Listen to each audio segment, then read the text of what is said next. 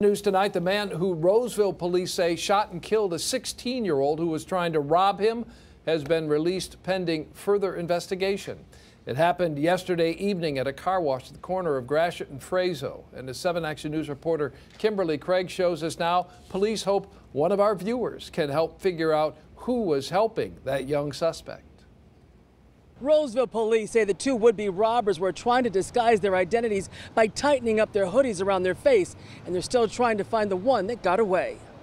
We're not sure if it was a straight street robbery for his money or the vehicle. What Roseville police say they do know is that a 16 year old was armed when he announced a holdup here at the car wash on Gratiot at Frazho, and he wasn't alone when he allegedly tried to rob a man who had been vacuuming out his vehicle. And it appears they cased the parking lot and selected the victim and approached and announced the robbery. Roseville police say the victim himself was armed and he managed to get his gun, and he and the young armed robber exchanged gunfire. He's uh, frequents there. He's a resident of the city of Roseville and uh, just caught by surprise and basically was in a fight or flight type situation. The teen was fatally shot. His accomplice took off on foot and was picked up by someone already in a nearby vehicle. We're told there is surveillance video from the car wash, and police are now hoping anyone who lives nearby can check any cameras on their homes and doorbells for images of the robbery suspect who got away.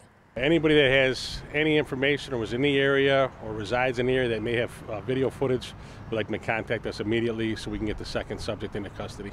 And sources tell us that the 16 year old who was killed was under investigation in Detroit for alleged crimes.